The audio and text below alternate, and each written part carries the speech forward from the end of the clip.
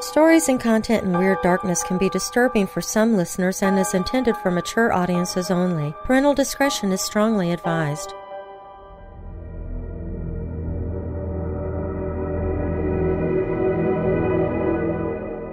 In nearly all cultures, myths and legends can serve as cautionary tales, keeping one foot in practical reality and the other in the realm of the supernatural. And it's no surprise that the most effective cautionary tales are also the scariest. The ancient lore of the indigenous peoples of North America are as varied and far-reaching as the continent itself, and unless you're well-versed in native lore, you might not realize how many of those tales are populated by horrifying spirits, ghosts, witches, demons, and monsters. And since I'm in the scare business, I'm here to share some of the most nightmarish. We'll look at Native American legends, myths, lore, and monsters that span multiple tribes, and in some cases, hundreds of generations. I'm Darren Marlar, and this is Weird Darkness.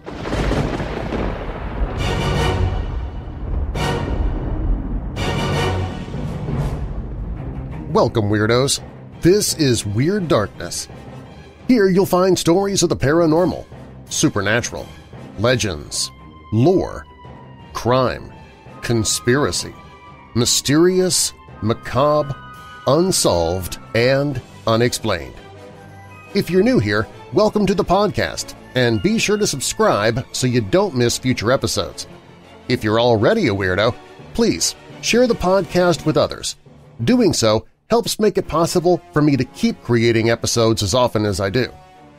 This month marks five years of Weird Darkness, and I'm celebrating by raising funds and awareness about depression, which I'll tell you about later in the podcast, but I'd like to invite you to visit darknesschallenge.com now to learn more about it.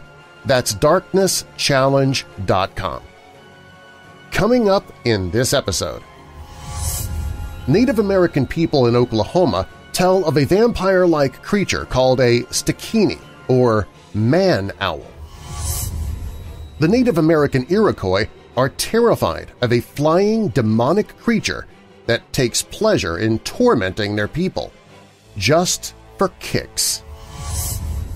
Native Americans have wonderful legends of a powerful and magnificent thunderbird that was sent by the gods to protect humans from evil, but that doesn't mean that it wasn't terrifying. The Hopi Indian tribe encountered what they called the Maasaw, a living skeleton that was not only horrifying, but also gifted the Hopi with sacred knowledge. Many native myths and legends deal with coyotes. For some, it is the most sacred of all animals. For others, it is the most profane of animals. Did the Comanche Indians defeat a race of white, red-haired giants? The Illini people have had numerous encounters with a mysterious, dragon-like creature that existed thousands of moons before the Paleface came. The Cherokee have an interesting tale of how disease and medicine came into existence, and the story also explains why Native Americans respect all life. The Cherokee people talk of an ancient, light-skinned people whose blue eyes were so sensitive to light that they lived in the dark underground. The Chumash Indians in California first spoke of the Dark Watchers in legends, and their artists painted images of them on cave walls. Who or what were they? Native Americans in North America have a well-known cryptid that is believed to live even today. It's cannibalistic, it can shapeshift, and it's called the Wendigo. All cultures have tales of heroes defeating evil. The Algonquin tribe is no different, and their mythical hero defeated evil sorcerers and the sorcerer's demon followers. All of that and a whole lot more Native American lore in this episode. Now, bolt your doors, lock your windows, turn off your lights, and come with me into the Weird Darkness.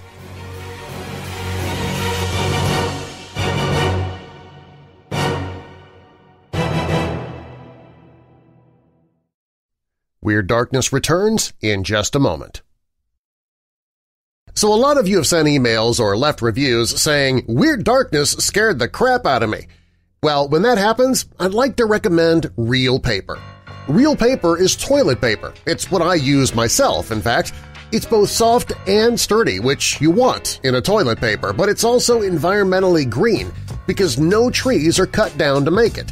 It's made from 100% bamboo, which is softer than other woods, meaning softer paper too, and it regrows without being replanted.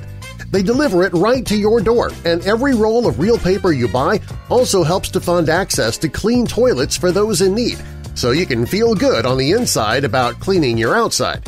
You can try Reel Paper right now by visiting reelpaper.com.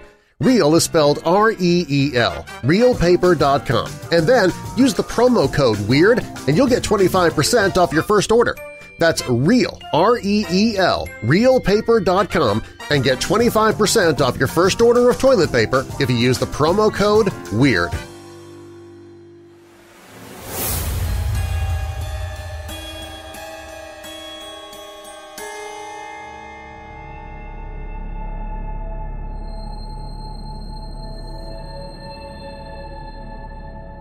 In ancient folklore of the Seminole Indians of Oklahoma in the United States, there is a vampire-like creature called a Stikini, or man-owl. Likewise, terrifying Stikini legends are widespread among the Creek people. Originally, the Stikini were believed to be malevolent witches who transformed themselves into undead, huge, owl-like monsters. Technically dead, but constantly reanimated they could spend their nights seeking human hearts to consume. Hearing the terrifying cry of a Stikini is an omen of impending death. Many Native Americans who know the Stikini stories avoid mentioning this bizarre creature openly. Usually only certain medicine people tell about the Stikini without putting someone at risk for turning into one. By day, Stikini appear as an ordinary human, but at night the Stikini make terrible things. It vomits up all its internal organs and hangs them in a tree or hides them somewhere else to prevent animals from eating them. Then it can change its appearance into a great horned owl. In this disguise, it flies out in search of a sleeping person to prey upon.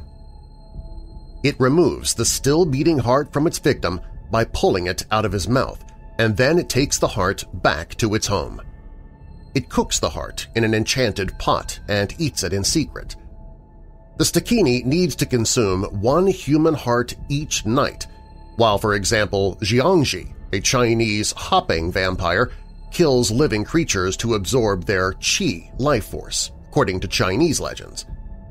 Before dawn, the Stikini returns to its hidden organs and swallows them, and then looks again as an ordinary human being. Ancient people believed that there may be a way to get rid of the creature, but it is very difficult. At first, a person has to find its organs hidden by the Stikini while the creature is still hunting, and then destroy it before dawn, which guarantees the death of the monster. Sunlight is also disastrous for the creature Stikini who is not turned back into human shape. This can be done with some specially chosen arrows, which are decorated with owl feathers, then ritually blessed and dressed with sacred herbs. When the Stikini returns to consume its organs, one can fire upon it with the magic arrow, as this is the only time that the creature is vulnerable. Stikini is a dangerous shapeshifter with the ability to transform into any animal it wants, but it prefers to perform as an owl. By day, it takes on the form of a human in disguise.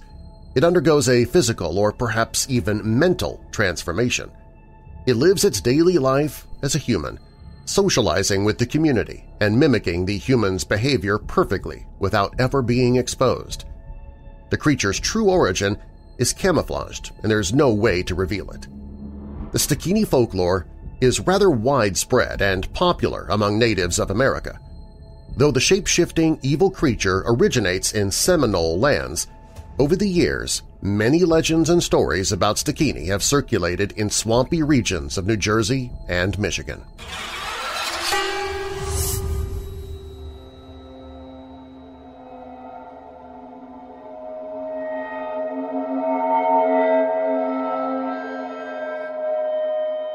The Iroquois have an interesting legend about a horrifying flying head that terrorized people for no apparent reason. This was no ordinary head of a normal person. The head was huge, about four times larger than the size of a man. This bodiless creature had great wings protruding from its cheeks. Lurking in the forest, the monster was coated in thick, black hair, and its mouth was filled with fangs. It ate everything that was alive, including humans. What is interesting and slightly unusual about this Native American monster is that it seems to have vanished into thin air. The flying head was seen by many, but then it simply disappeared, and no one knows what happened to it. The story of the flying head of the Iroquois is different than most other flying creatures of Native American lore because there are very few sightings of this dangerous creature. Legends tell one day a man spotted the flying head soaring through treetops. It seemed to be nothing more than a shadow, but it was glowing brightly. He hurried back to the village and told everyone to leave as fast as they could, and everyone left, except for one woman who stayed there with her baby. The woman sat beside the hearth and built the fire up into a great blaze. Then heated some stones to a red-hot glow. Suddenly the flying head appeared, its horrible mouth slavering as it looked into the longhouse from the far end. Not giving any sign that she noticed it, the young woman began to pretend she was eating a meal. She picked up the red-hot rocks with a forked stick and pretended to put them in her mouth, and with each bite she said how great it tasted, what wonderful meat it was. The monster watched, growing hungrier and hungrier, his horrid mouth drooling until he could wait no longer. He stuck his head far into the longhouse and swallowed the entire heap of burning rocks. A horrible scream pierced the night, and another, and the monster frantically beat its wings and flew off into the dark, screaming in agony and rage. He screamed so loud the trees that he flew past all trembled. People scattered here and there in the forest, and fell to the ground, covering their ears. The monster kept screaming as he flew further and further away from the longhouse until his screams could be heard no longer, and the people rose up from the ground and went home, finally safe. The origin of the flying head remains a mystery. Some think the head belongs to a murder victim. According to other Native American beliefs, a human is transformed into a flying head after committing an act of cannibalism. According to both Iroquois and Wyandot mythology, flying heads are ravenous spirits that are cursed with an insatiable hunger. Sometimes flying heads are also associated with whirlwinds. As previously mentioned, the flying head that terrorized the Iroquois came and vanished without a trace. What happened is unknown. Some think it died, though that is unlikely if it was a true spirit. Another option is that it is still alive and some of the Iroquois think that it went to the sea. Perhaps it is now hunting creatures that reside underwater.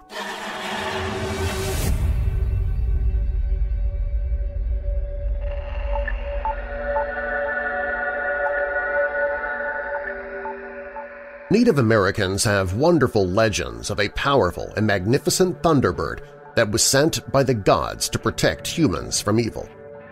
When this huge eagle-like bird soared the skies, one could hear its mighty wings beat with the sound of rolling thunder. Its eyes were burning like fire and caused lightning. The thunderbird was no ordinary bird.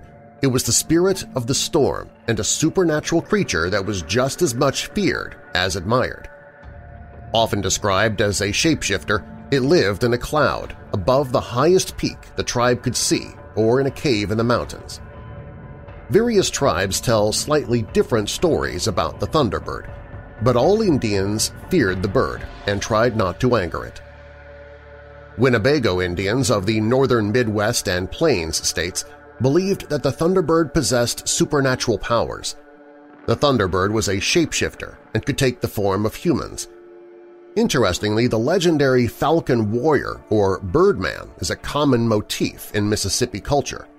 It has been depicted with a beaked face on unearthed artifacts from Cahokia to Georgia. In some traditions, Birdman is interpreted as a version of Redhorn, another heroic figure whose twin sons fought off a race of giants. Experts believe that Birdman was a warrior king, but it's also possible that this was a legendary Thunderbird. According to Winnebago Indians, the Thunderbird was able to manipulate weather, affecting the winds and creating storms, lightning, thunder, and rain. There were not just one Thunderbird, but many of them were often seen in the skies. The Thunderbirds were enemies, with the water spirits and the giant birds used their lightning when crossing the waters to protect them from the water spirits. The Passamaquoddy Indians who live in northeastern North America, primarily in Maine and New Brunswick, have legends that confirm the Thunderbirds were shapeshifters. According to the Passamaquoddy, the Thunderbirds were men who could transform themselves into flying creatures. Their legend tells that Thunderbird is an Indian and he or his lightning would never harm another Indian. But Wuchowsen, the great bird from the south, tried hard to rival Thunderbird. So, Passamaquoddies feared Wuchowsen, whose wings Glooskap once had broken because he used too much power. In Native American mythology, Glooskap is a mythical hero who defeated evil sorcerers and demon followers. We'll look closer at this character later on in this episode. The Quileute Indians of the Pacific Northwest remember how the Thunderbird was sent by the Great Spirit to help the Indians after a horrible disaster. The Indians had no food, and many had died after rain and hail had fallen for many days, destroying all plants. After the rain came snow, and the Indians called the Great Spirit for help, and it then sent the people the Thunderbird. The story of the Thunderbird's arrival is described in detail in the book Indian Legends of the Pacific Northwest, written by Ella E. Clark. The people waited. No one spoke. There was nothing but silence and darkness. Suddenly there came a great noise and flashes of lightning cut the darkness. A deep whirring sound like giant wings beating came from the place of the setting sun all of the people turned to gaze toward the sky above the ocean as a huge, bird-shaped creature flew toward them. The bird was larger than any they had ever seen. Its wings from tip to tip were twice as long as a war canoe. It had a huge, curving beak, and its eyes glowed like fire. The people saw that its great claws held a living, giant whale. In silence, they watched while the Thunderbird for so the bird was named by everyone, carefully lowered the whale to the ground before them. Thunderbird then flew high in the sky and went back to the thunder and lightning from which it had come. Perhaps it flew back to its perch in the hunting grounds of the Great Spirit. Thunderbird and whale saved the Quileute from dying. The people knew that the Great Spirit had heard their prayer. Even today, they never forget that visit from Thunderbird, Never forget that it ended long days of hunger and death. For on the prairie, near their village, are big, round stones that the grandfathers say are the hardened hailstones of that storm long ago. The thunderbird is also described as a very large bird that makes fearsome noise. Thunderbird is a very large bird with feathers as long as a canoe paddle. When he flaps his wings, he makes thunder and the great winds. When he opens and shuts his eyes, he makes lightning. In stormy weather, he flies through the skies flapping his wings and opening and closing his eyes. Thunderbird's home is a cave in the Olympic Mountains, and he wants no one to come near. If hunters get close enough so he can smell them, he makes thunder noise and he rolls ice out of his cave.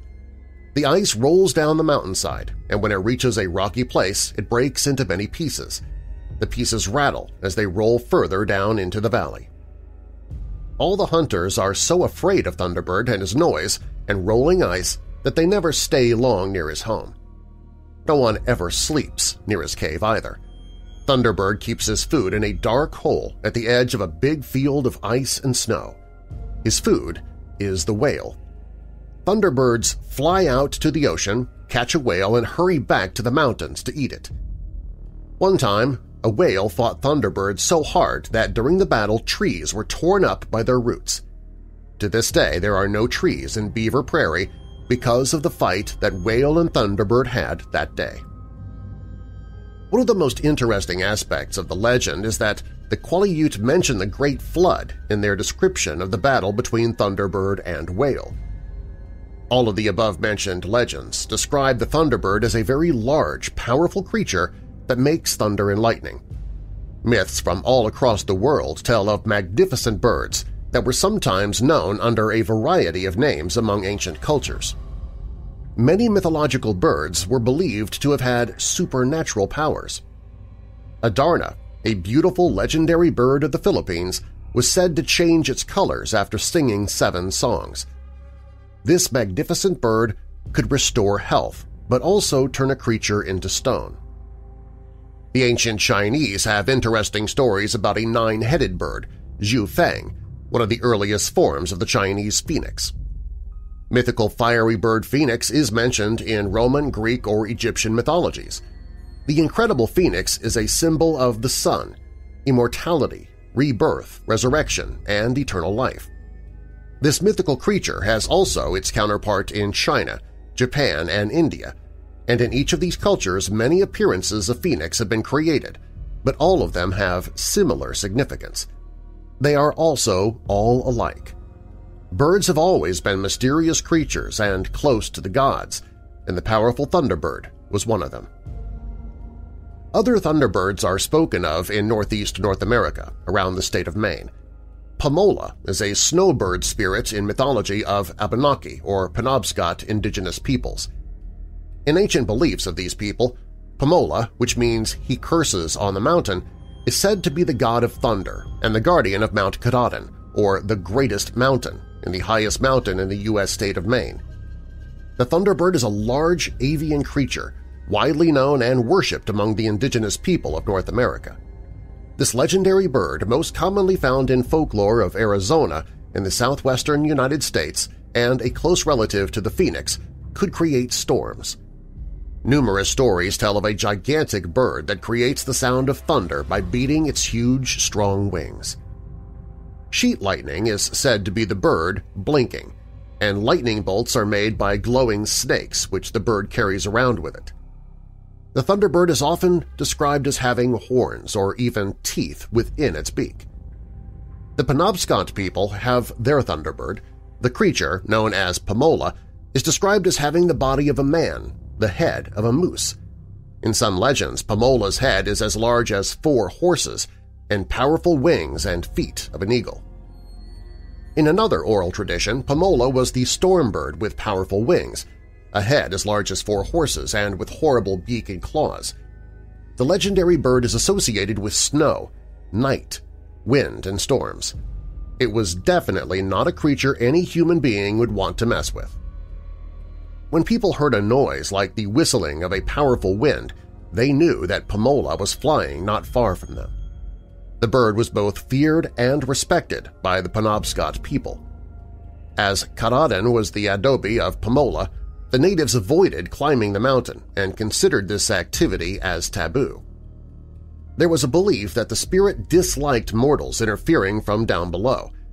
As Henry David Thoreau, an American philosopher, essayist, poet, and historian who explored the mountain and the beliefs of the Penobscot Indians of Maine, wrote, Pamola is always angry with those who climb to the summit of Katahdin.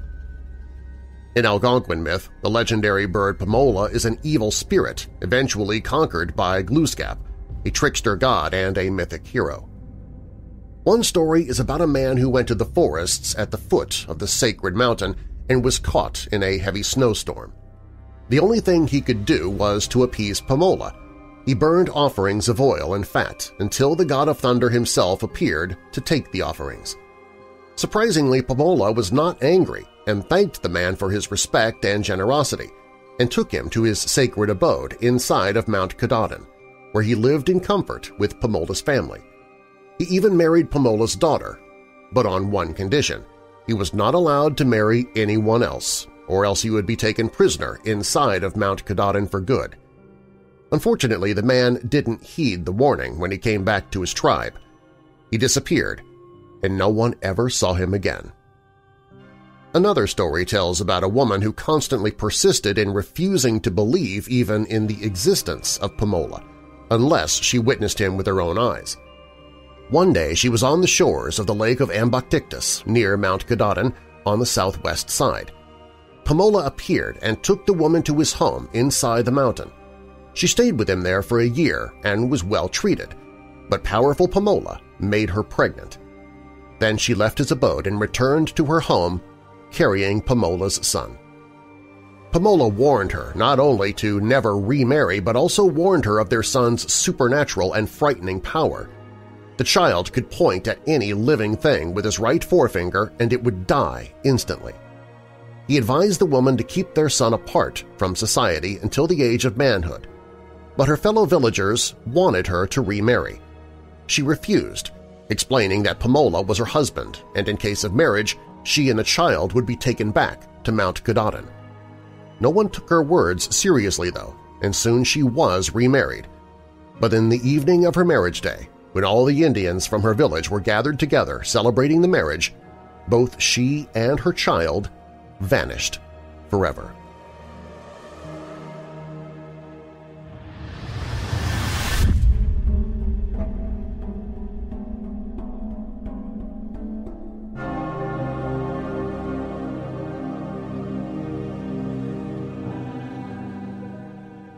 Hopi Indians' encounter with Maasaw was very emotional and frightening. His physical appearance was so horrifying that many of the Hopi Indians ran. Some of the Hopi had the courage to stay because they'd been looking for him for such a long time. They wanted to listen to Maasaw and receive spiritual wisdom. The remarkable encounter with Maasaw is one of the reasons why the Hopi are today considered keepers of sacred knowledge. The Hopi Indians have a very rich mythological tradition stretching back over centuries and have stories about their ancestral journeys through three worlds to the fourth world where the people live today. According to Hopi legends, Maasaw is a spirit that cannot die, and he was therefore appointed to be guardian of the underworld.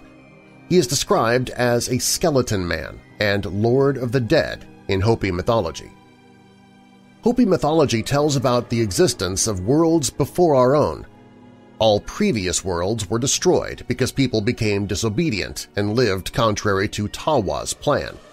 Tawa is the sun spirit and creator in Hopi mythology. There are different versions of how the previous worlds were destroyed and who managed to survive. Some legends tell that the Third World was destroyed along with all evil people – but other stories reveal good inhabitants were simply led away from the chaos which had been created by their actions. When the Hopi emerged into the Fourth World, our current world, they learned that Maasaw was on Earth and they went looking for him. People who wanted to escape from the Third World decided to make contact with Maasaw. First, they sent a swift bird looking for Maasaw, but the bird was so tired when it reached the sky that it had to come back. Then the Hopi tried to send a dove and later a hawk, but both creatures failed to reach Maasaw. The one that succeeded in finding Maasaw was the catbird. Maasaw asked him, why are you here? The catbird said, the world below is infested with evil. The people want to come up here to live. They want to build their houses here and plant their corn. Maasaw said, well, you see how it is in this world. There isn't any light, just grayness. I have to use fire to warm my crops and make them grow. However, I have relatives down in the Third World. I gave them the secret of fire. Let them lead the people up here, and I will give them land and a place to settle. Let them come. Maasaw looked like a skeleton man, a stick person, and he was a fearsome sight. When the Hopi Indians accepted Maasaw's frightening physical appearance, his attitude began to change, and he gave them wonderful knowledge. Maasaw explained to them how they should live and allowed their people to flourish. The guardian spirit Maasaw gave the Hopi permission to settle in the region that is now northwest Arizona. Maasaw noticed that greed, ambition, and social competition were dominating factors in their former life and this lifestyle made people very unhappy. Maasaw warned the Hopi that the life he had to offer them was very different from what they had before. To show them, Maasaw gave the people a planting stick, a bag of weeds, and a gourd of water. He handed them a small ear of blue corn and told them, Here is my life and my spirit. This is what I have to give you. Maasaw explained that if they followed his way, they would live long and fruitful lives. He wanted them to be humble and live like he did, with only a planting stick and seeds. He wanted the Hopi to take care of and respect the land, and they did what he said, despite the fact that their manner of living was not easy. Dry farming in the high desert of northern Arizona, relying only on precipitation and runoff water, requires an almost miraculous level of faith and is sustained by hard work, prayer, and an attitude of deep humility. Following the way of Maasaw, the Hopi people have tended to their corn for nearly a millennium, and the corn has kept them whole. For traditional Hopis, corn is the central bond. Its essence, physically, spiritually, and symbolically, pervades their existence. According to the Institute for Tribal Environmental Professionals, a tribal training and support organization based at Northern Arizona University in Flagstaff, to be Hopi is to embrace peace and cooperation, to care for the earth and all of its inhabitants, to live within the sacred balance. It is a life of reverence shared by all the good people of Earth, all those in tune with their world.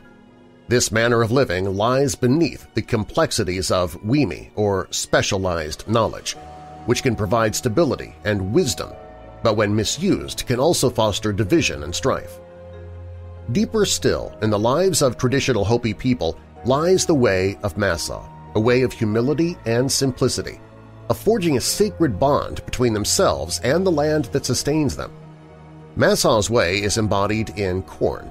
The source of true happiness is to live in peace and harmony with nature, animals, and other people, according to Maasaw. The Hopi followed his teachings, and they lived peaceful in communities, caring for each other for centuries. They always carried within them the knowledge of the Great Spirit, and they performed sacred rituals daily. The word Hopi is a short version of their name Hopitu Shinumu, or the Peaceful People, or Peaceful Little Ones.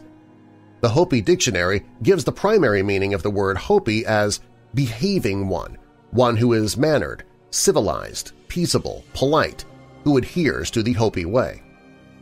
The tribe does live up to the name.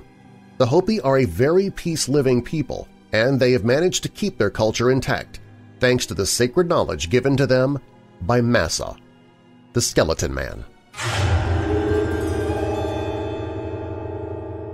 We're not even to the halfway point of this episode. There are many, many more legends and myths from North American Indians that are fascinating and frightful. So keep listening. This month is the fifth anniversary of Weird Darkness, and it's also National Depression Awareness Month. So instead of sending me happy anniversary wishes, I'd like to challenge you to help spread awareness about depression and to make a monetary donation of whatever amount you can to help bring awareness to the cause. I've created DarknessChallenge.com specifically for this reason. That's DarknessChallenge.com. There, you can click the Donate button to donate any amount – $5, $10, $100, whatever you feel led to give. Maybe a monthly pledge if you're able. Also on the page, I talk about the actual Darkness Challenge itself, where anyone who suffers from depression can help change the world with a short video using the hashtag Darkness Challenge and posting the video online to encourage others to make their own videos and directing people to visit the website. Please visit darknesschallenge.com today and get involved however you can. Post a message to social media and encourage others to also visit the website, to give generously, to make their own videos, especially if you or someone you know struggles with depression. All donations received will be donated to the International Foundation for Research and Education on Depression. So please, give today. And grab your smartphone to make a video today, too. It can change the way people see depression and those who live with it. go to darknesschallenge.com. That's darknesschallenge.com. You can also find it on the Weird Darkness website.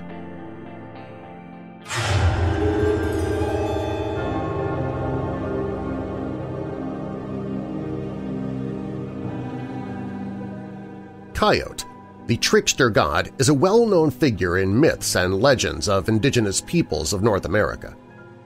Coyote, a mischievous, cunning, and destructive force at work within creation, was also assigned to the role of God Deceiver, a great cheater who misleads people and animals and finds obvious pleasure in causing troubles and upsets on a daily basis.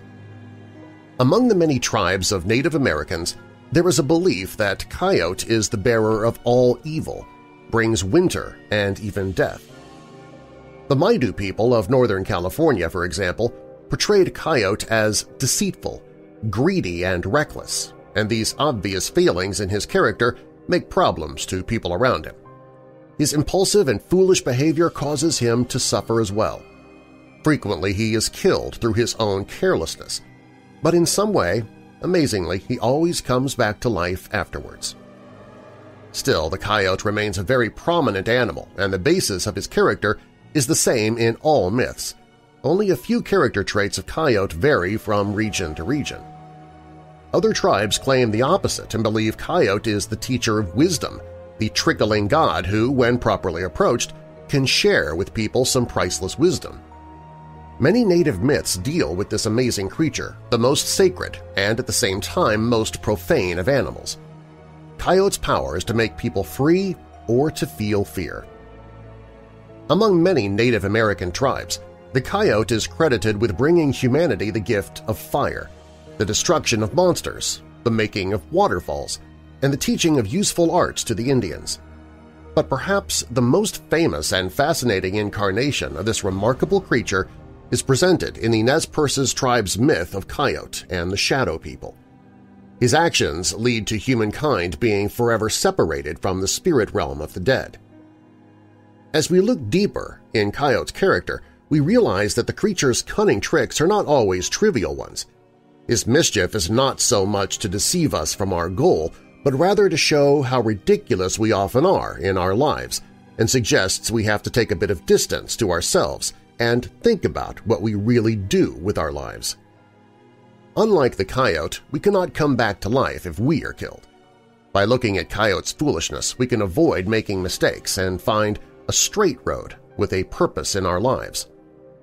Coyote is sometimes a creator sometimes a clown, destroying things for himself and others who surround him. Because of his vanity and boastfulness, the coyote undertakes various ambitious enterprises in which he fails due to his passions. Is it not the same we experience in our lives sometimes? Coyote has been compared to both the Scandinavian Loki and also Prometheus, who shared with Coyote the trick of having stolen fire from the gods as a gift for mankind and Anansi, the great trickster of West African legend which was originally credited with the creation of the world and became a cultural founder hero. In the Aztec pantheon of gods, there is the trickster and transformer, the Old Coyote, that shares many characteristics with the trickster coyote of North American tribes. In Eurasia, rather than a coyote, a fox is often featured as a trickster hero.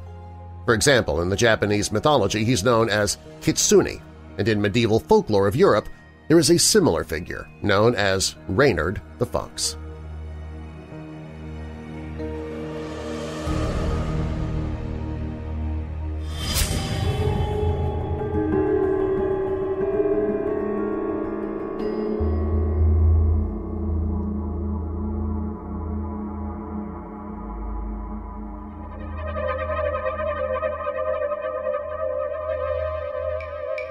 Several legends of giant white men exist throughout Native American culture, including the northern tribe of Comanche and southern Mantanos. In the book History of the Choctaw Indians, Chickasaw and Natchez, published in 1899, Horatio Bardwell Cushman writes, The tradition of the Choctaw that has long been a race of giants inhabited what is now the state of Tennessee, beings with which their ancestors fought when migrated from the west.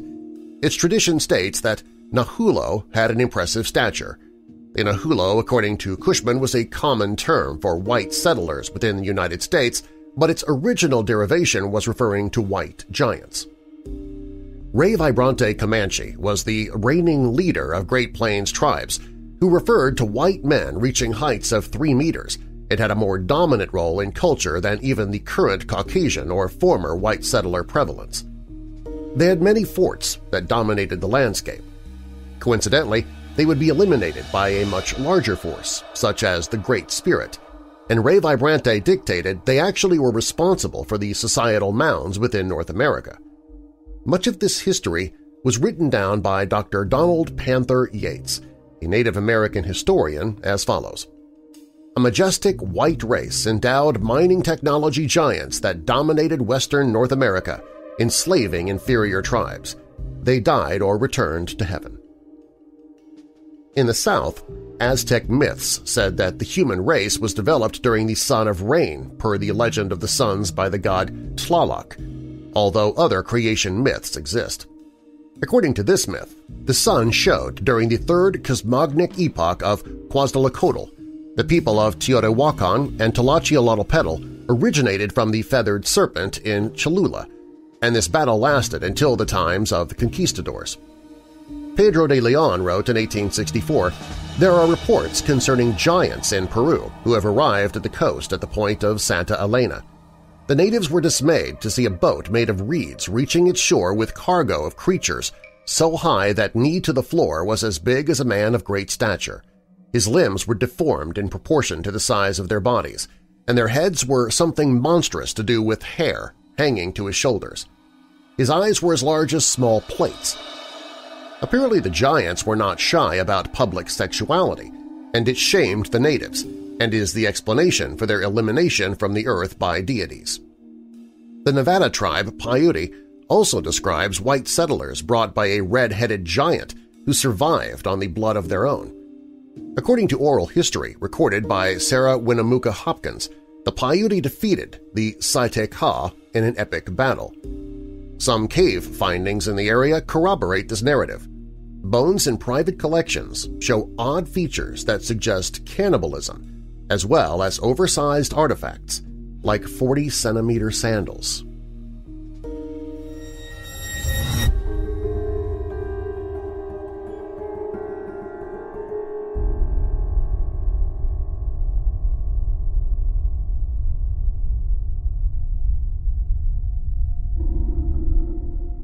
Depictions of the mysterious giant Piasa bird can be found on a limestone bluff overlooking the Mississippi. Native American legend tells this creature existed long before the palefaces arrived on their lands. It was a bird described as one that devours men in the Illini tongue. An interesting theory suggests the Piasa bird may be related to ancient Japanese dragons – the first discovery of the Piasa bird was reported in 1673 when French-Canadian explorers Father Jacques Marquette and Louis Joliet sighted a painting of the creature as they navigated the river near present-day Alton, Illinois.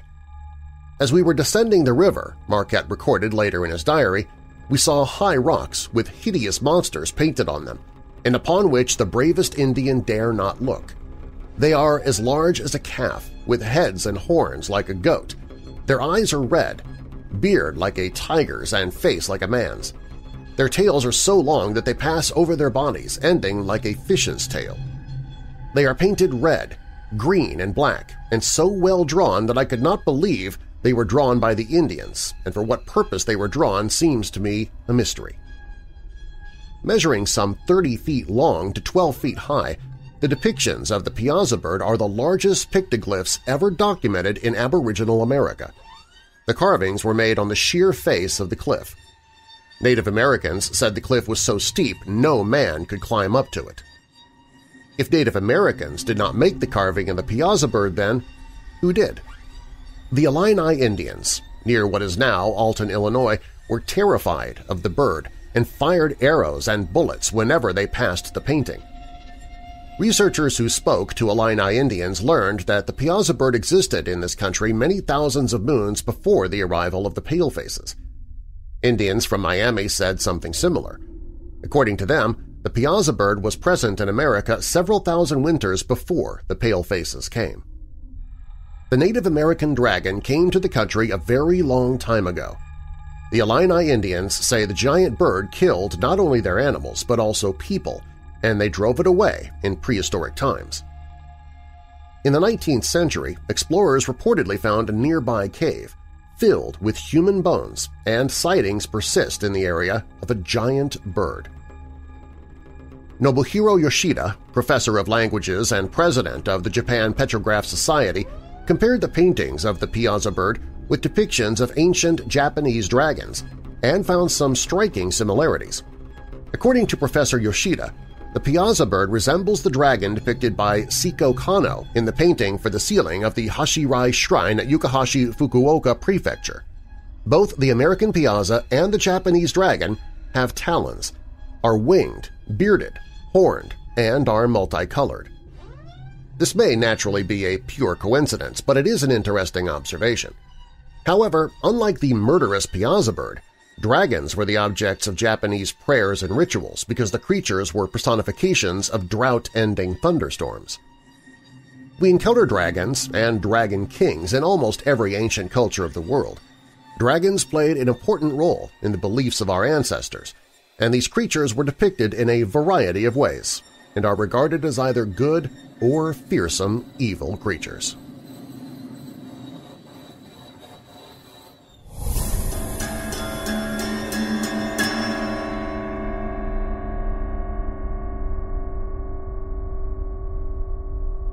This Cherokee tale is interesting because it relates a philosophy of life which was practiced by many Native Americans.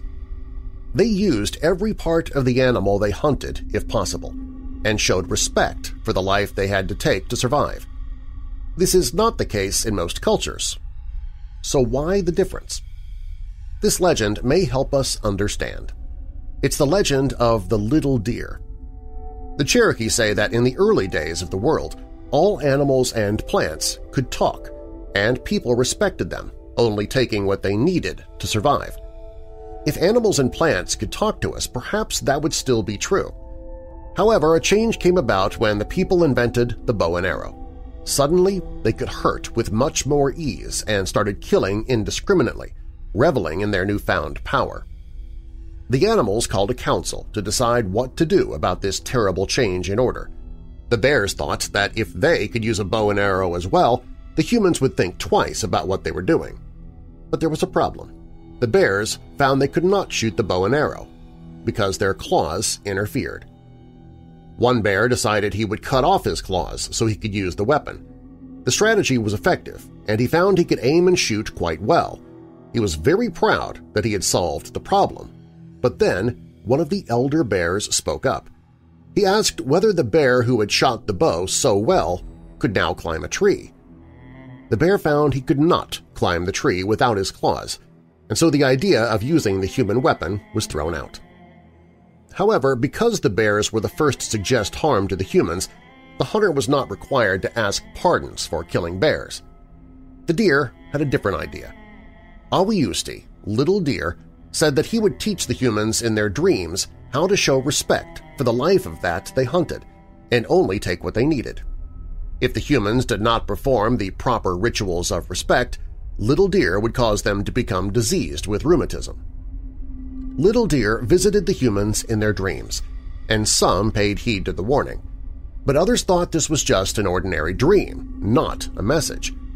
Some still decided to go out and kill indiscriminately.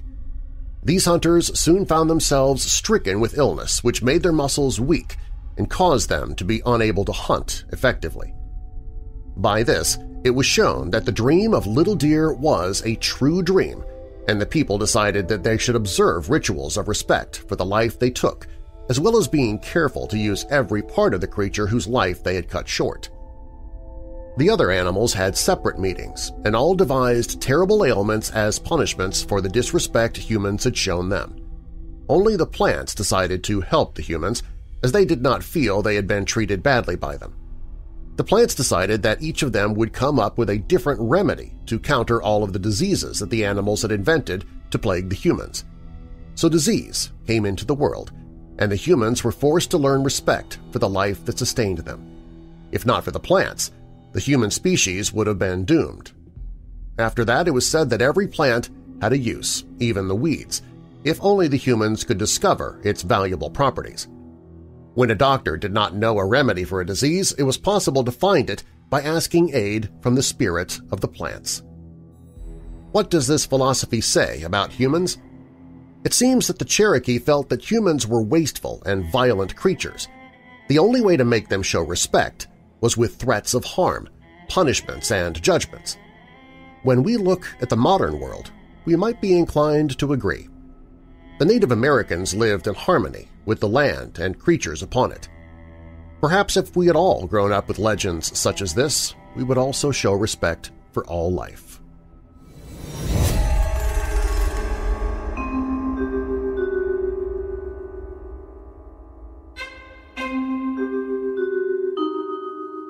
The Cherokee recall a white-skinned race that lived on their lands before they arrived. This group of very unusual beings were known as the Moon-Eyed People. Cherokee legends tell the Moon-Eyed People were of small stature and had pale, white skin, blond hair, and blue eyes. They were called moon-eyed because they had very sensitive eyes and were unable to see in daylight. They could, however, see very well at night. Since these mysterious ancient people were blinded by the sun, they were forced to live in underground caverns. The Moon-Eyed people were physically totally different from the Cherokee, and when these two races encountered each other, war broke out. The Moon-Eyed people were first mentioned in a 1797 book by Benjamin Smith Barton.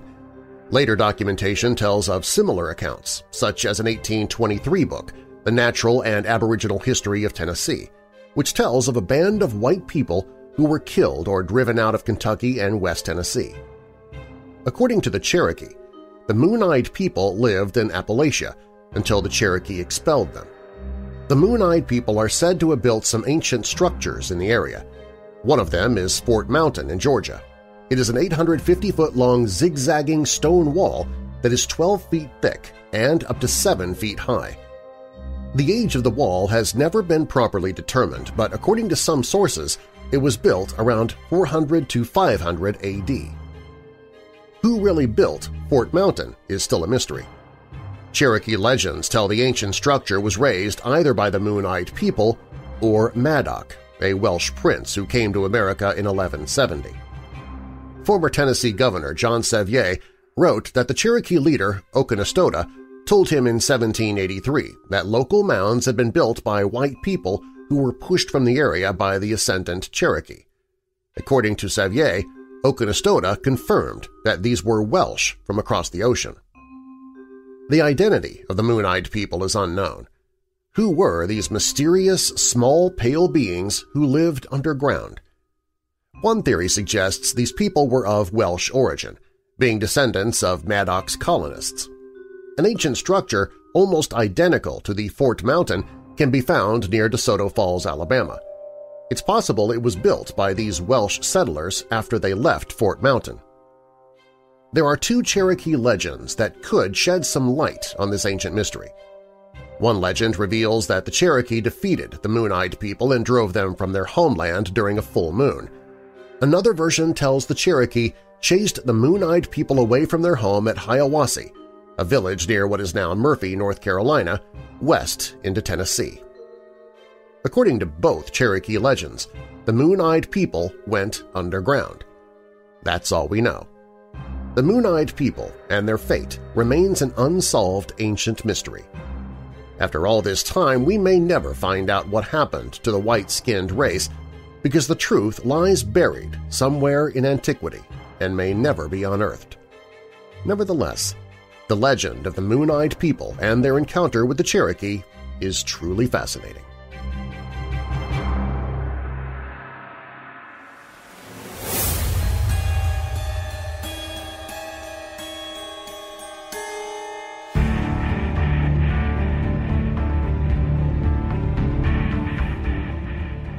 Who or what the Dark Watchers are, no one knows.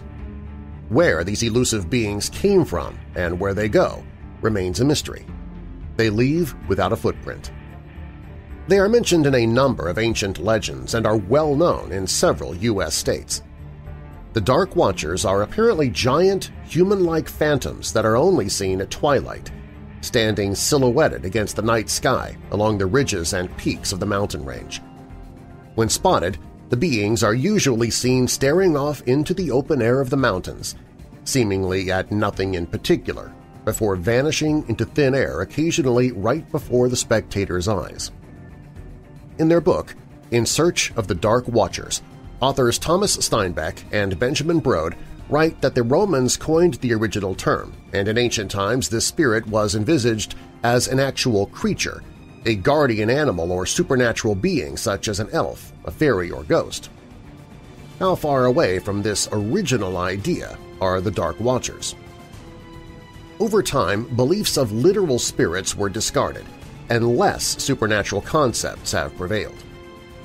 In modern times, there are some people who say they have encountered a Dark Watcher, but what these giant beings are looking for or watching is beyond anyone's current comprehension. There are no scientific explanations, only speculations.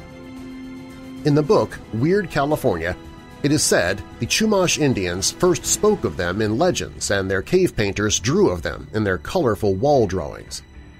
Later, legendary author John Steinbeck described them in his short story, Flight. Pepe looked up to the top of the next dry, withered ridge.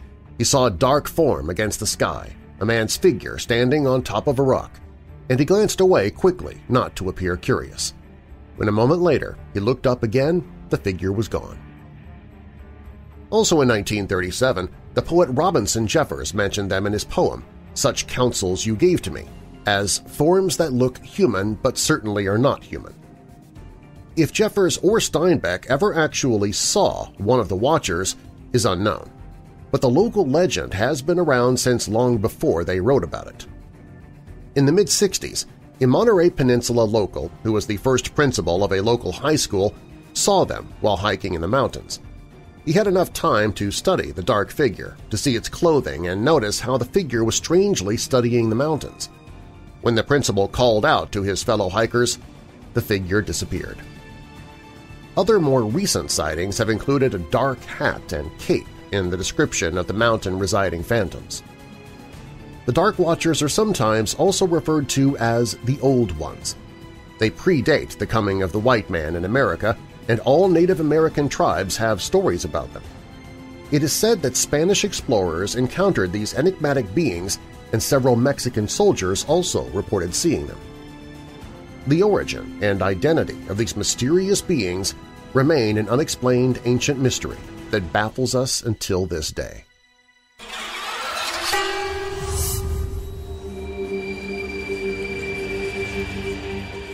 This next section is something I have shared in the podcast before, but with this episode's sole focus being on Native American myths and legends, I just couldn't leave it out. In some myths of the Algonquin tribes of North America, there is a mythological creature, Wendigo, that takes different forms. It is a cannibal, a monster. When there is nothing left to eat, it starves to death. When it sees something, it wants to own it. No one else can have anything. This illness feeds on a spiritual void. The Wendigo is a danger that surrounds us. It is not only a creature from myths and legends of the ancients. The Algonquin Native Americans represent the most extensive and numerous North American groups, with hundreds of tribes speaking several related dialects of the language group Algonquian. They lived in most of the Canadian territory below the Hudson Bay and between the Atlantic Ocean and the Rocky Mountains. Their rich mythology and their beliefs survived many generations, and so did the Wendigo, a monster and boogeyman. This cannibal monster, also known as Wendigo or Wendigo, is an evil man-eating spirit. However, his abilities and evil doings vary depending on the locality where the legends were gathered. Generally, the Wendigo has certain characteristics of a human or an evil spirit. By possessing a human being, the Wendigo can change his or her form to become a cannibal. The Wendigo, a malevolent, supernatural being, is associated with cannibalism, murder, and voracious greed, and this kind of behavior has always been condemned in these indigenous communities. In some myths and legends of the Algonquin-speaking peoples, those who commit sins such as selfishness, greed, or cannibalism are turned into a Wendigo as punishment. Among the peoples of Canada, around the Barons Lake, located in Manitoba, Canada, along the eastern shore of Lake Winnipeg, the Wendigo is an amphibious being, like an alligator, with bear's feet or cloven hooves. In the beliefs of the Chippewa Indians, also known as the Ojibwe, the evil creature is an ogre, which is focused on children to obtain their compliant behavior. Along with other indigenous tribes such as Eastern Cree, West Main Swampy Cree, Naskapi, and Innu, the Ojibwe describe the Wendigo as a giant many times larger than human beings. In Algonquin folklore, however, the Wendigo is the spirit of a lost hunter who now mercilessly preys upon humans in a cannibalistic manner. The Wendigo is never happy. He is never satisfied with his killings and consuming of the bodies. He is constantly searching for new victims. His hunger is limitless. As I said, when there is nothing left to eat, it starves to death. When it sees something, it wants to own it. No one else can have anything. This illness feeds on a spiritual void. It is not only a creature from myths and legends of the ancients. The Wendigo is a danger that surrounds all of us.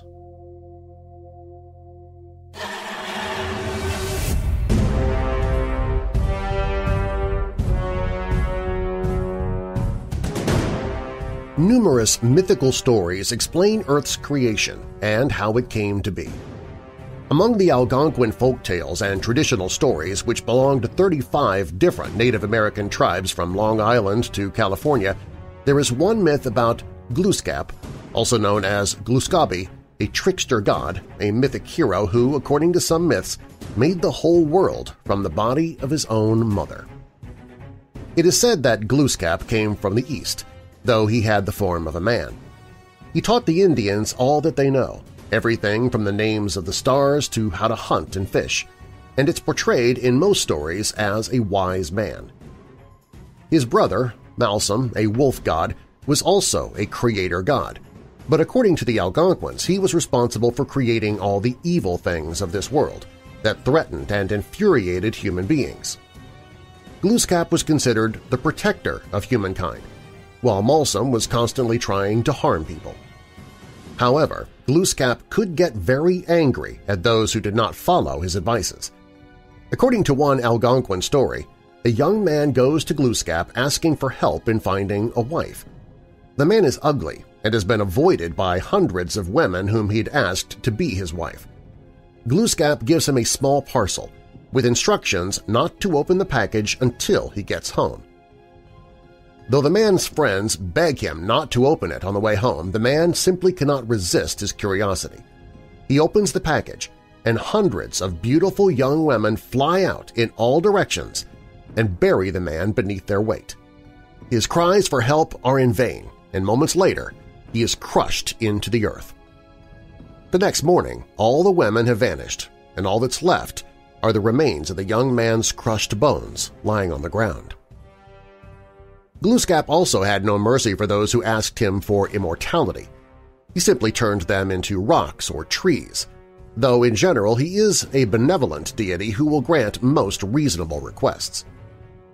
In one version of this creation story, Glooskap's brother Malsum killed him with the feather of an owl, the only thing that can harm Glooskap. But the great benevolent hero returned to life and killed evil Malsum with a fern so Malsum became an evil wolf, Lux. Still, Glooskap had to defeat evil sorcerers, Kuakwa and Metasolan, Malsum's demon followers who tried to avenge their leader's death. The legend has it that Glooskap finally defeated the forces of evil, and when this was done, he gave a great feast for all the animals on the shores of Lake Minas, and then sailed off in his canoe. The animals, who had previously all spoken the same language, discovered that each species spoke a different language once he had gone. Glooskap is sometimes depicted as a rabbit, though it is said that he, as a shapeshifter, can take whatever shape he wants. He is expected to return as a savior of his people when they are most in need.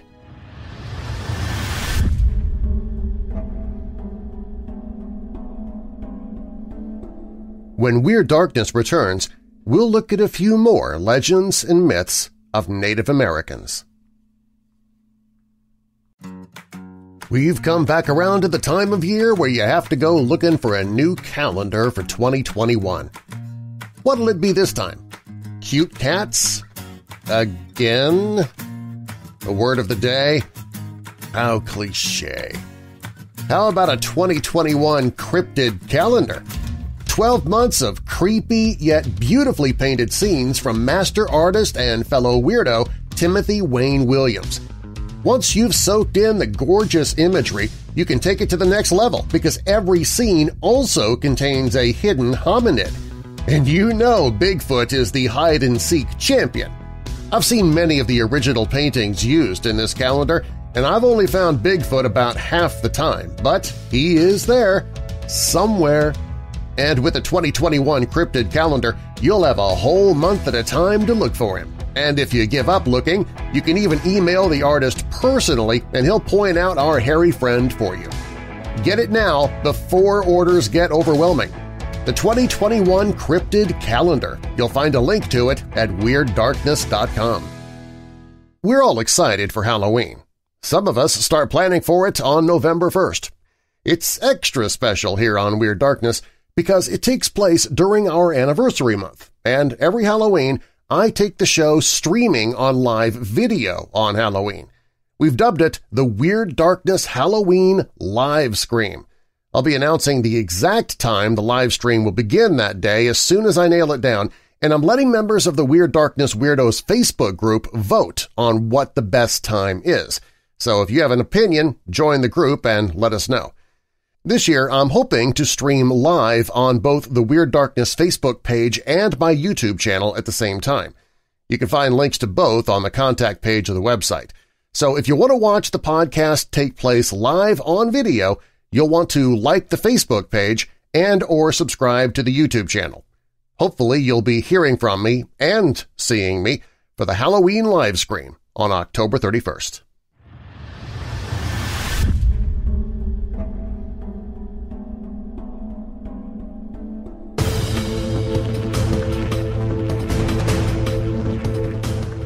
There are so many legends and myths from Native American culture, and while I would never be able to touch on all of them, here are a final few that I think deserve a mention.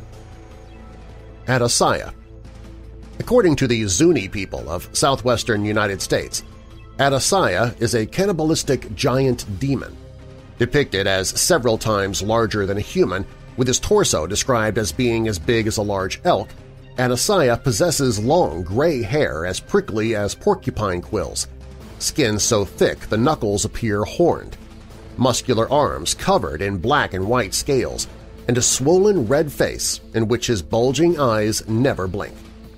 A minority of stories also claim Atahsaia has long yellow tusks and long talons. An unsavory figure in native mythology, Atahsaia is regarded as an incorrigible liar in addition to being a cannibal of both humans and his fellow demons. Habitually armed, Atahsaia is routinely depicted with a giant flint axe or a flint knife as broad as a man's thigh and twice as long. Appearing throughout numerous Zuni legends of similar composition, in Atahsaia the Cannibal Demon, the monster deceives two young maidens and lures them back to his lair. After failing to persuade them to eat a soup made from human children or to comb his hair, the women are rescued by the Zuni war gods who slay the demon. In another story, The Rabbit Huntress and Her Adventures, a young woman lost in a blizzard seeks refuge in a cave. Discovered by Atahsaia, he attempts to break into the cave, but again the war gods rescue the maiden and defeat the monster. Camazotz, the Death Bat This ferocious creature originates with the ancient Mayans who depicted him as a powerful god monster from the hellish domain of Xibalba, where he presides over swarms of bloodthirsty vampire bats. Though powerful enough to destroy entire civilizations, Camazotz made a treaty with human beings to bring them fire, but in exchange he demanded human sacrifices. In other words, there are evil forces lurking everywhere, so you'd better do your homework. The Ogopoga, or Naitaka. The Ogopoga, also known as Naitaka, translated as Water Demon, is a lake monster who, according to Canadian folklore, lives in Okanagan Lake, British Columbia. Most commonly described as measuring between 40 and 50 feet in length, the sea serpent resembles the extinct Mosasaurus, a carnivorous aquatic lizard from the Cretaceous period. As with the flathead lake monster, numerous sightings of the Ogopoga have been claimed in recent decades, including at Okanagan Mission Beach in 1946 and on film in 1968, although subsequent video analysis proved the creature to have been a mere waterfowl or beaver.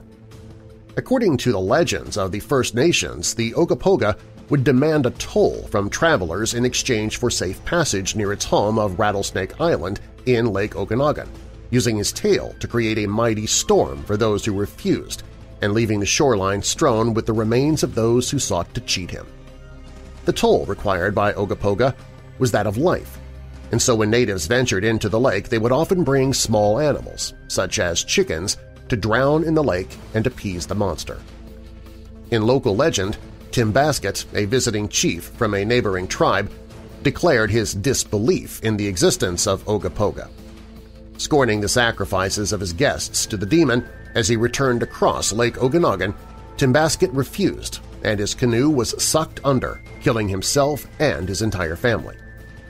Local history also tells of non-Indians who ignored warnings, notably a settler in 1854 called John McDougall. Whilst crossing with a team of horses, McDougall's canoe began to be dragged below the water. Remembering the advice of natives, McDougall cut the ropes holding the horses on board. The horses were pulled under and drowned, but McDougall was spared. Chenoo, the ice giant. Though some tales describe the Chenoo as a Bigfoot-like creature, the original legend from the Wabanaki people tells that he was once a human, but at some point committed a horrible crime, for which the gods cursed him and turned his heart to ice. His frozen spirit was then trapped within the body of a lumbering, troll-like monster who devours any human he can get his hands on. Mishipeshu, the Water Panther the story of the water panther spans multiple tribes, including Cree, Algonquin, Ojibwe, and Shawnee. It's usually described as a giant dragon-like feline, and the most common element is the monster's aquatic habitat.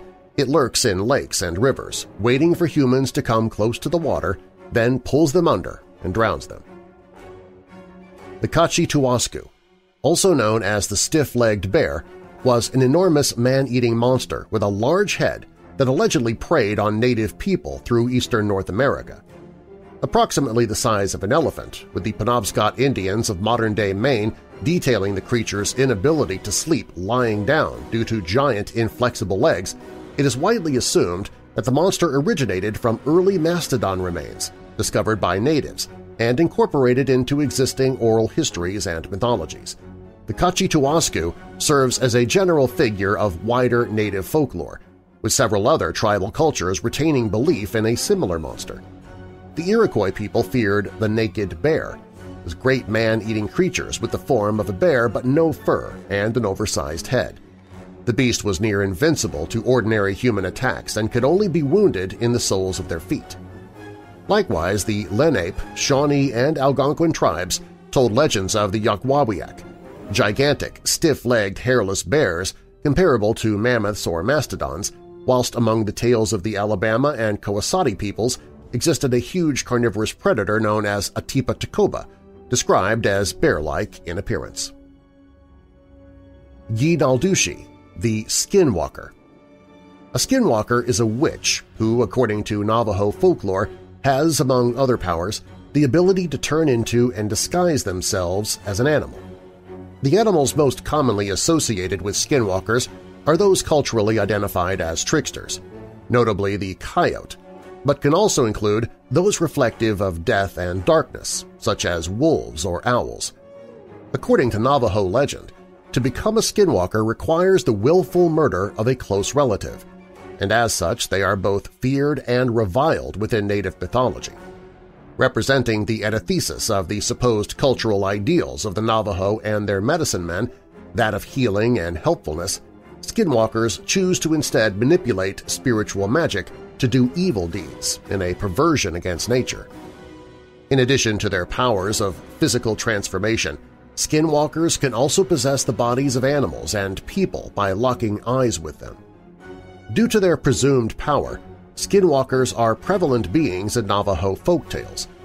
These stories typically take the form of climatic struggles between great persons of the tribe and the witch, although atypically for native folklore not always with an exclusively positive outcome, and often included a didactic message for children to learn from. Many victory stories involving skinwalkers conclude with multiple inhabitants of a hogan, the traditional Navajo dwelling, joining together in a communal strength of wills to scare away the monster and the darkness it brings with it.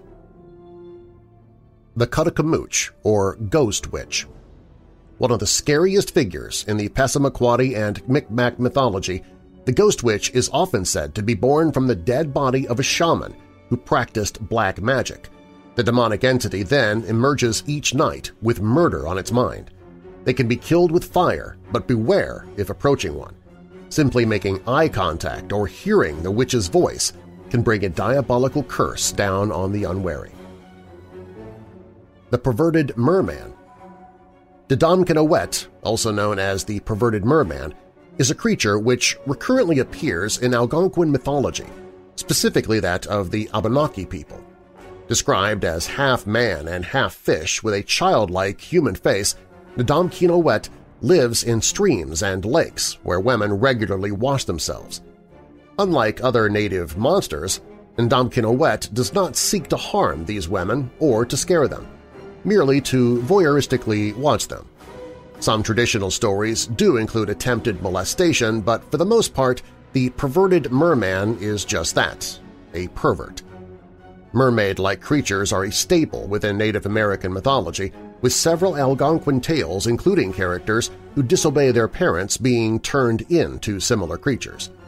Consistent throughout these depictions in Native legend, the theft of a merman's or mermaid's clothing strips the being of their magical powers and renders them unable to swim. Tataklea, also known as Lakuza, the Owl Women. From the Yakama tribe come tales of five supernatural women who resemble giant owls, dwelling in caves by day and flying out at night to prey on all manner of creatures, including humans. In fact, they are said to prefer the taste of children, Legend has it that they can hunt humans by mimicking their language. Tahihan The Tahihan, deriving from the Arapaho word for strong, are a race of cannibalistic dwarves with allegedly superhuman strength. Although descriptions vary, the Tahian are generally depicted as the size of children, with dark skin and said to have an extremely aggressive and unsociable disposition. According to some legends, they possessed the ability to become invisible, while others contend they merely seemed so due to the incredible speed with which they caught their adult prey. Within native folklore, it is widely agreed that the Tahian were destroyed in an ancient conflict in which the Arapahoes and other Native American tribes allied to successfully defeat them. A unique aspect of their characters, it is suggested in some tales that the Tahian had the ability to remove their hearts and store them for safekeeping, in so doing protecting themselves from physical harm to their persons. One such prominent story within native folklore tells of a warrior captured by a family of Taiyuan and who, to delay his death, asks his dim-witted captors about the macabre organs adorning their residence. Upon learning their true nature, the warrior stabs each of the hanging hearts, killing each member of the Taiyuan family and winning his freedom. Along with the Taiyuan, there are numerous other evil dwarf-like creatures in various indigenous American cultures. The Nimerigar, or People Eaters, are a race of dwarves belonging to Crow and Shoshone legend, said to reside in the Wind River and Pedro Mountain ranges of modern-day Wyoming. Described as aggressive by nature, they shoot poisoned arrows and kill their own kind should they fall ill with a blow to the head. During his famed expedition, Meriwether Lewis claimed to have seen evidence of the Devals, describing them as roughly 18 inches tall and highly ferocious. Although originally believed to have been entirely mythical, the 1932 discovery of the San Pedro Mountains mummy, a 14-inch tall mummy, has brought this into question, with tests demonstrating the individual was approximately 65 years old at the time of death and violently killed by an inflicted head wound. Since 1932, several other similar bodies have been recovered across North America, lending credence to a 1778 account suggesting the existence of a pygmy burial ground and the possible historical existence of people akin to the Nimerigar. Not isolated solely to the Nimerigar, Crow folklore also includes the Narumbi, a race of goblin-like creatures, estimated to be between 1 and 2 feet in height with sharp teeth and very little neck, the Narumbi are considered enemies by the native peoples. Depicted as often engaging themselves in harmless mischief, the Narumbi are also considered responsible for evil acts such as child abduction and the killing of livestock. Similarly, the Pukwudgies, or person of the wilderness, of Algonquin folklore are a knee-high race of little people. Considered by some tribes, including the Ojibwe, to be harmless spirits of the forest, other tribes, such as the Abenaki, believe the Pukwudgies to be dangerous foes, with a predisposition toward the theft of children and possessing powers similar to those of the magical skinwalkers. Uktena, the Horned Serpent The horned serpent Uktena of the Cherokee people is a mythological monster that recurs throughout several Native American oral histories, especially in the Great Lakes and southeastern woodlands regions. Described as being as large as a tree trunk and covered in magical scales with horns and a gemstone on its forehead, the horned serpent could not be harmed except in a single spot on its head. Whilst its breath was poisonous, to slay the monster would win the warrior a crystal of immense power granting a life of successful hunting, rainmaking, and romance. According to Cherokee legend, a great warrior named Aganunitsi achieved this feat, wherein he discovered the crystal required a sacrifice of blood each week. Without this tribute, the crystal searches for blood itself, becoming a ball of fire and murdering those it encounters. Other variants of the horned serpent include the tie snake in Muskogee Creek traditions, slightly smaller than the horned serpent and likewise covered with crystalline scales with a large gem in its forehead, the snake was considered capable of prophecy, and its horns were believed to carry medicinal powers. Unlike the Uktena, the tie snake was not considered to be evil or willfully harmful to humans. Equally, the Alabama people told stories of a crawfish snake of a similar design and purpose. In contrast, traditional Sioux belief claimed these serpents were dangerous water monsters of the ancient world, but had been destroyed by the Thunderbirds, supernatural beings of great power, and only their lesser ancestors, such as lizards and snakes, have survived. It is theorized this mythological belief stemmed from the discovery of dinosaur fossils by the Sioux and the Thunderbirds from pterosaur skeletons. The Flathead Monster The Flathead Lake Monster which I mentioned very briefly earlier in this episode, originating from Kootenai traditions, is a creature that supposedly dwells in Flathead Lake, Montana. The creature is typically described as an enormous eel-shaped animal with a body akin to that of a snake, measuring between 20 to 40 feet in length, blue-black skin, and gray-black eyes. According to the tribe's legend, the first inhabitants of the region lived on an island in the middle of Flathead Lake. On one winter day, whilst crossing the frozen lake, two girls saw antlers sticking through the ice and, believing they belonged to a drowned animal, decided to cut them off. After cutting into the two-foot-long antlers, the ice split open to reveal the monster, the awakening of whom caused the drowning of half the residents of the lake. This explanation is often provided in folklore for the small number of Kootenai people. Similar to the Loch Ness Monster in Scotland, Modern reports of the Flathead Lake Monster are abundant in the local area, including a claim in 1889 by Captain James Kerr, 13 such reports in 1993, and an alleged rescue of a three-year-old drowning boy by the monster. The creature was taken sufficiently seriously that in the 1950s a significant reward was offered for the capture of this super fish, but despite numerous efforts, no firm evidence of existence has ever been recovered. Two-Face Existing among the Sioux Plains and Omaha tribes, Two-Face, also known as Sharp Elbows, is a two-faced monster who enjoys preying upon native populations, torturing and gruesomely disfiguring his victims before murdering them. As typically depicted in folklore, all who gaze upon either of the twin visages of Two-Face become paralyzed with fear, or in some cases die instantly, and he utilizes his extremely sharp elbows to stab his frozen victims to death. As with several Native American monsters, Two-Face is widely considered to retain a preference for children and female victims, especially pregnant women. According to Lakota mythology, Two-Face was once a woman who was turned into the creature as punishment for attempting to seduce the sun god, with one beautiful face and one hideous. An alternative origin story includes a similar background, albeit with Two-Face being born from such an adulterous woman.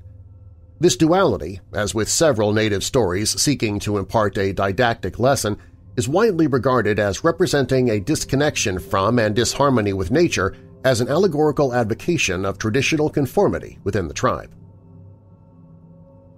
Washuga A Washuga, similar but not identical to a Wendigo, is a cannibalistic monster stemming from the stories of the Athabascan people of northwestern Canada. According to legend, the Washuga is a person who has become possessed or overpowered by the spirit of a great animal, in so doing devolving into a giant bestial form. Some versions of the Washuga depict the creature as being physically made from ancient ice come to life to hunt humans, invulnerable to harm and only defeated when melted over a campfire. This rendition of the Washuga is notably similar to that of the Wabanakis' Chenoo, an ice giant who was cursed by the gods for his crimes, his heart turned to ice, and his spirit trapped inside a troll-like monster that feasts upon humans. Described as giant animals, both intelligent and physically powerful, the Washuga hunts humans and attempts to ensnare and devour its prey through cunning deception. As with the Wendigo, certain tribes adhere to a less spiritual origin of the creature, but instead a product of human indulgence in taboos resulting in the physical corruption of the depraved individual. The Dane-zaa of the Peace River region in western Canada, for instance, contend that a Washuga is the product of breaking a strong cultural taboo, such as having a photograph taken with flash, listening to guitar music, or eating meat with fly eggs in it. The Underwater Panthers The Mishipeshu also known as the underwater panther or great lynx, is a legendary creature belonging to the mythologies of native inhabitants of the Great Lakes region of North America. A monster from the underworld, the panther resides in creeks and rivers, hiding in wait to drown unsuspecting prey.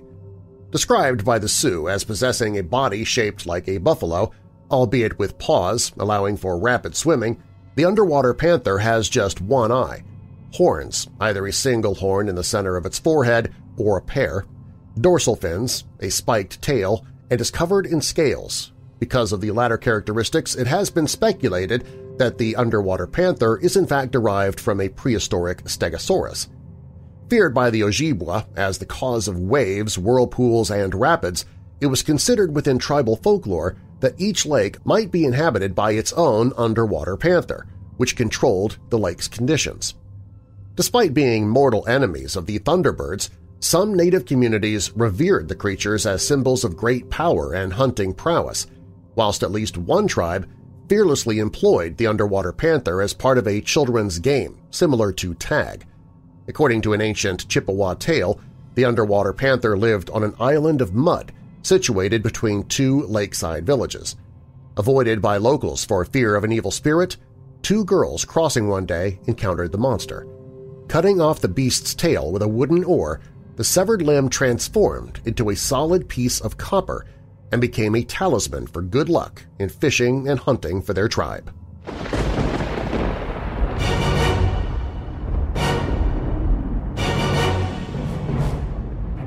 Thanks for listening. If you like the podcast and you haven't already subscribed, be sure to do so now so you don't miss future episodes. And also, please, tell someone else about the podcast.